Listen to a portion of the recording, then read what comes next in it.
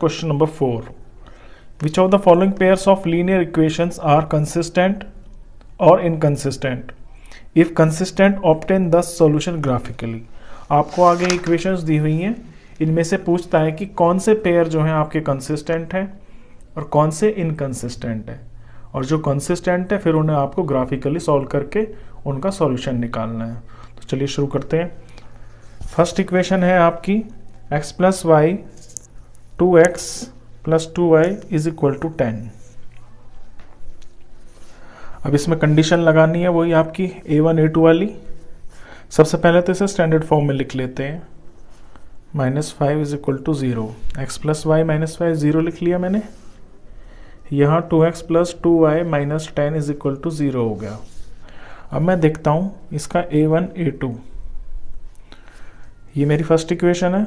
तो ये सारे a one a two a three a one b one c one हो गया। ये सेकेंड इक्वेशन है तो इसमें से ए टू बी टू और सी टू निकलेंगे। तो ए वन और ए टू क्या हो जाएगा यहाँ पे? इसका कॉफिशेंट वन है और इसका कॉफिशेंट है आपका टू तो वन अपॉइंट टू हो गया। बी वन बी टू इसमें बी वन ये आपका वन हो जाएगा वाई का कॉफिशेंट यहाँ वाई का कॉफिशेंट आपका टू तो ये वन अपॉइंट टू हो गया। यहाँ पे सी वन बाई सी लेंगे तो सी वन है इसमें आपका माइनस फाइव और सी टू है माइनस टेन सॉल्व होके ये भी आपका one upon ten sorry one upon two आ गया। तो तीनों आपस में बराबर हो गए। जब ऐसा होता है, जब इस तरह से होता है a one upon a two is equal to b one upon b two और c one upon c two तो ये आपका इन्फिनिट सॉल्यूशंस होता है। यानी कि बहुत सारे सॉल्यूशंस होते हैं। और जिस इक्वेशन का सॉल्यूशन होता है, वो आपका कंसिस्टेंट होता है। तो सबसे पहले तो यही पता चल गया कि ये आपकी इक्वेशंस दोनों कंसिस्टेंट हैं। अब कंसिस्टेंट है तो आपको इनका ग्राफ बनाना है सॉल्व करना है। तो पहले फ़र्स्ट इक्वेशन से देखिए वैल्यूज़ निकालते हैं। ग्राफ के लिए आपको वैल्यूज़ चाहिए होती हैं। तो इक्वेशन है आपकी x plus y is equal to five यहाँ से मैं किसी एक वेरिएबल को अकेला कर लेता हूँ। सपोज़ मैं x को अलग ले लेता हूँ तो ये हो गया फाइव माइनस वाई अब बारी बारी से मैं y में कोई वैल्यू रखता हूँ और मेरा x आ जाएगा। और इस इक्वेशन के लिए जो वैल्यूज़ भरनी है, उनका मैं बॉक्स यहाँ पे बना लेता हूँ। जो एक्स वाई आएँगे, वो इसमें भरने हैं। तो अगर मैं वाई की जगह पे यहाँ पे पहले वन ले लेता हूँ, इस इक्वेशन में तो एक्स कितना आ जाएगा? फाइव माइनस वन यानी कि फोर तो वाई वन लेने से मेरा एक्स फोर आ गया। अब कुछ और लेता हूँ। अब की बार मैं ले लेता हूँ आपका टू तो वाई की जगह मैं टू ले लेता हूँ। तो फाइव माइनस वाई की जगह टू भरेंगे। तो ये आपका थ्री आ गया। तो थ्री आ गया। अच्छा अब सेकंड इक्वेशन को देखिए। सेकंड इक्वेशन में आपको एक चीज़ दिखाई दे रही होगी इसमें कि टू कॉमन आ रहा है, दोनों इक्वेशन में। तो टू को कॉमन लेके ना, इसे छोटी बनाया जा सकता है। इक्वेशन टू है two x plus two y is equal to ten दोनों तरफ़ से टू से इसे डिवाइड कर दें। तो ये x plus y is equal to five बन जाएगा। और देखिए, x plus y five x plus y five दोनों इक्वेशन बिल्कुल सेम टू सेम है।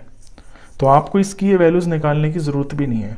इसकी भी आप यही वैल्यूज़ भरेंगे, यही इक्वेशन आएगी, यही पॉइंट्स आएँगे। तो मैं डायरेक्ट ही लिख लेता हूँ।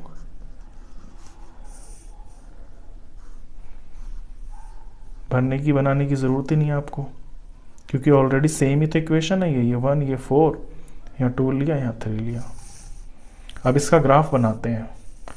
ग्राफ इसका मैं यहीं पे बता दूँगा आपको, क्योंकि छोटी सी वैल्यूज़ हैं। ये आपके x y x x axis x dash और ये आपका वाई ये आपका वाई डैश इज़ ऑरिजिन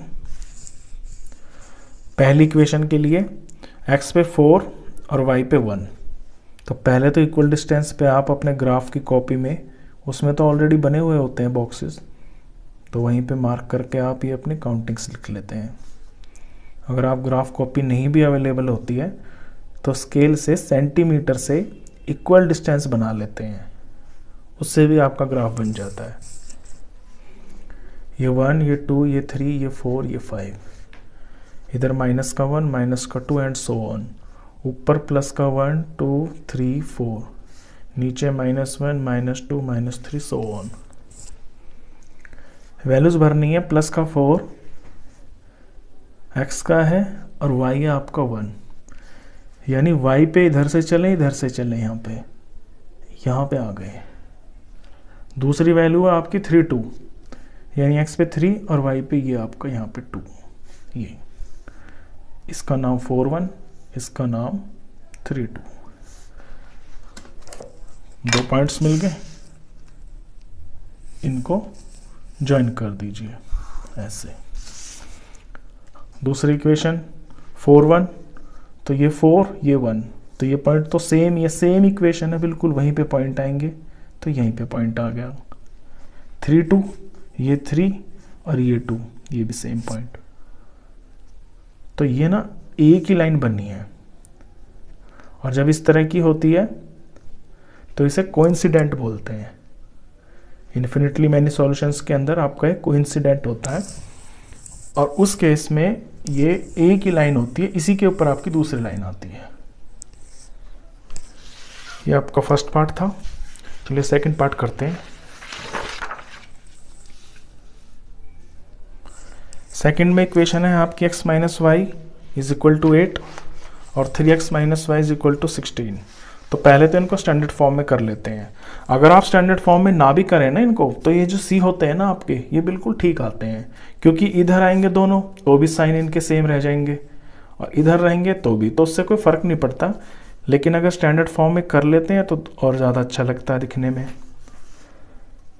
तो three x minus three y minus sixteen ये आपकी इक्वेशन टू ये आपकी इक्वेशन वन चलिए a one upon a two अगर करते हैं इसका तो इसका ए वन है आपका वन और ये ए टू है आपका three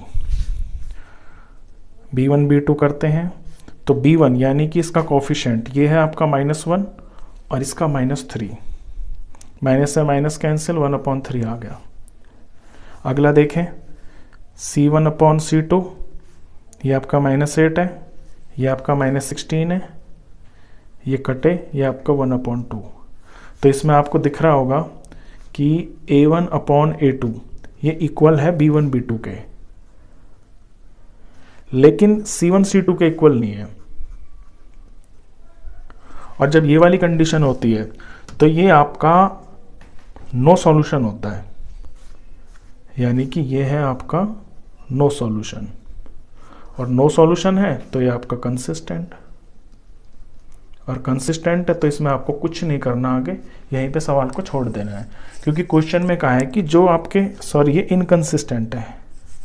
नो no सॉल्यूशन मतलब इनकंसिस्टेंट कि क्वेश्चन में कहा है कि जो कंसिस्टेंट है, उन्हीं के आपको सॉल्यूशन दिखाने हैं। ये सेकंड पार्ट इसके बाद है आपका third part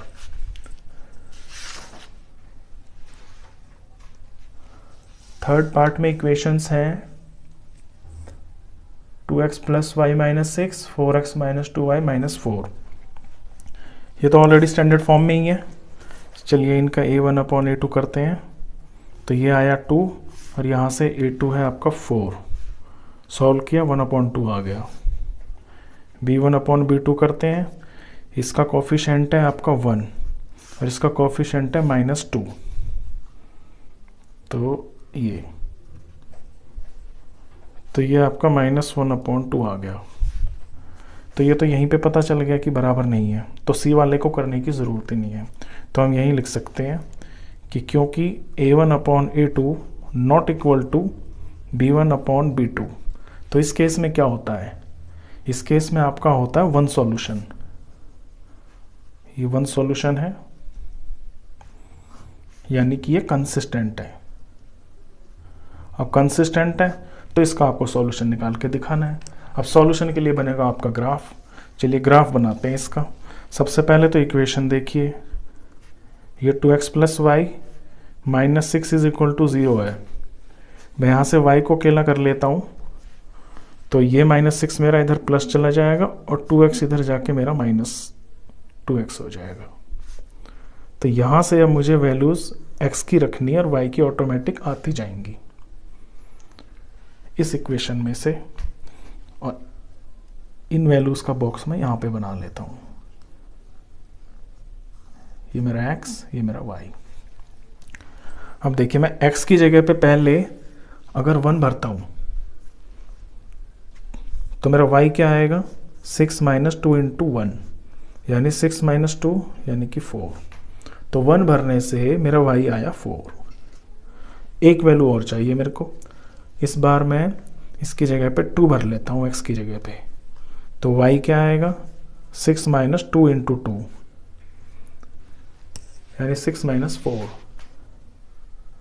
six minus four आपका टू तो ये टू आ गया। फ़र्स्ट इक्वेशन की वैल्यूज़ आ गई। सेकंड इक्वेशन की वैल्यूज़ निकालते हैं। सेकंड इक्वेशन की वैल्यूज़ में आप ध्यान से देखेंगे तो सारी इक्वेशन के अंदर आपको टू कॉमन दिखाई दे रहा है। तो इसको जब पूरी इक्वेशन को टू से डिवाइड कर ले तो और छोटी हो जाएगी। छोटी हो जाएगी तो नंबर छोटे आ जाएँगे, आसान हो जाएगा इसको करना। तो इसे टू से डिवाइड कर ले दोनों तरफ़। तो सिंपल इक्वेशन बन जाती है two x minus two x minus y और minus two is equal to zero अब यहाँ से मैं एक्स की चीज़ को ले लेता हूँ एक तरफ़, अपने लेफ़्ट साइड में। तो ये माइनस का वाई इधर जाके प्लस हो जाएगा और ये जो टू है, ये भी प्लस हो जाएगा। यानी कि ये हो गया टू प्लस वाई और एक्स अकेला करना है तो टू प्लस वाई और नीचे आपका टू तो ये बन गई मेरी इक्वेशन जिसमें मुझे बारी बारी से वाई भरना है और मेरा एक्स निकल जाएगा। और यहाँ पे बॉक्स बनाता हूँ, जिसमें वैल्यूज़ लिखनी है एक्स ये वाई तो पहले मैं ऐसा नंबर भर लेता हूँ। वाई की जगह आप ऐसा नंबर सोच के चलिए जिससे ये टू से डिवाइड हो जाए। ऊपर ऐसा नंबर बने जो टू से डिवाइड हो जाए। तो ऐसा आपके ध्यान में आएगा। पहले ज़ीरो भर लेते हैं। तो two plus zero upon two ऊपर तो टू ही आया। Two by two is equal to one तो वन आ गई वैल्यू दूसरे में आप y की जगह पे टू भर लीजिए। यानी इस बार y की जगह टू लेंगे तो x कितना आएगा? टू प्लस टू वाई की जगह टू अपॉन में टू ऊपर फोर हो गया four by two is equal to two तो ये वैल्यू आपकी टू आ गई। ये दोनों वैल्यूज़ मिल गई दोनों इक्वेशन की।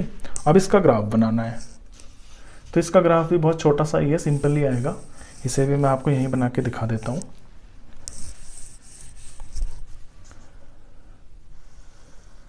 ये आपको इस तरह से एक्सेस ले लिए ये। मैं तो रफली कर रहा हूँ, लेकिन जब आप करेंगे तो स्केल से नाप के करेंगे। और अगर ग्राफ कॉपी होगी तो फिर तो किसी चीज़ की आपको ज़रूरत ही नहीं पड़ेगी। ये एक्स ये एक्स डैश ये वाई ये y dash origin one two three four five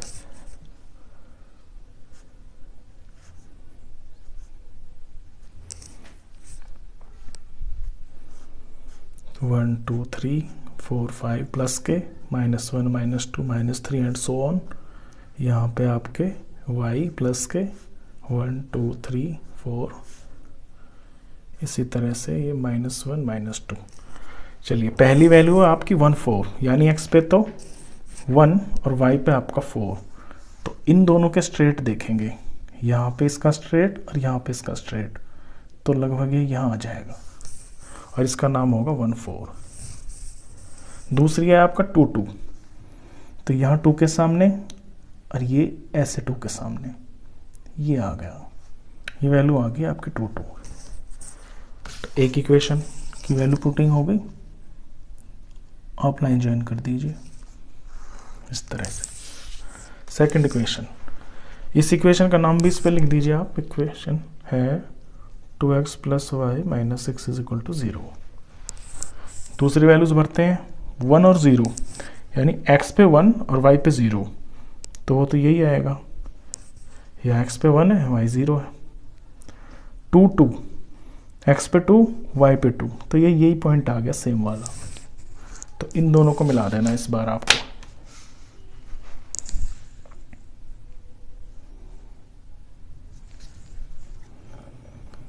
ये मिला दिया। इक्वेशन बन गई। ये लाइन पे आप नाम लिख दीजिए इस इक्वेशन का two x minus y minus two अब देखिए एक ही पॉइंट पे मिल रहा है ना ये तो इसका वन ही सॉल्यूशन तो होगा। जब वन सॉल्यूशन होता है तो आपका इंटरसेक्टिंग होता है। अब ये देखिए सॉल्यूशन क्या है इसके। देखिए एक्स पे क्या है? टू और वाई पे क्या है?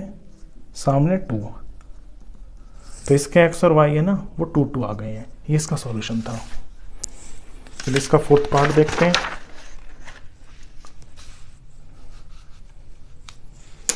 फोर्थ में दो इक्वेशन दी हुई हैं। और सबसे पहले तो हम अपनी कंडीशन लगा के देखेंगे।